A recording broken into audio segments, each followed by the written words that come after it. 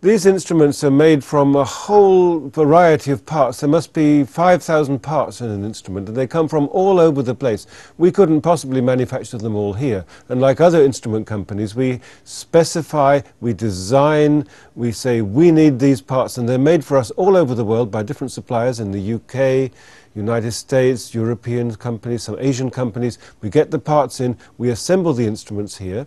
Of course, the software is a very important part. We write that here. And then having assembled the instrument, we put it into our lab for testing. It's normally tested for about two weeks. We run lots of samples through there. We know what results we expect to get.